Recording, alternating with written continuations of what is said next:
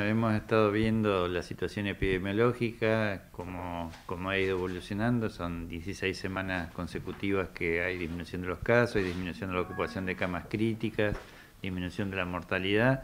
Entonces, bueno, se ha tomado la decisión, había un requisito para ingresar a la provincia desde Ciudad Autónoma de Buenos Aires y de Provincia de Buenos Aires, que tenía que ser con PCR o test de antígeno. Éramos la única provincia que lo venía manteniendo esto, así bueno, se ha tomado la decisión de suspender ese requisito para poder ingresar a la provincia. Vía aérea y vía terrestre por transporte público, ¿sí? Nunca se había pedido a las personas que venían en vehículos eh, personales, porque se consideraban que eran burbujas familiares o grupos de amigos que ya venían en viaje. Sí estaba para transporte, para los colectivos y para el avión, bueno, eso es lo que se va a suspender ahora. Se está llevando adelante la resolución para firmarla y ya enviarla a Aerolíneas Argentinas y a las empresas de transporte terrestre para que suspendan ese requisito. Es con vigencia a partir del día de hoy, así que ya no, no es un requisito que se a solicitar.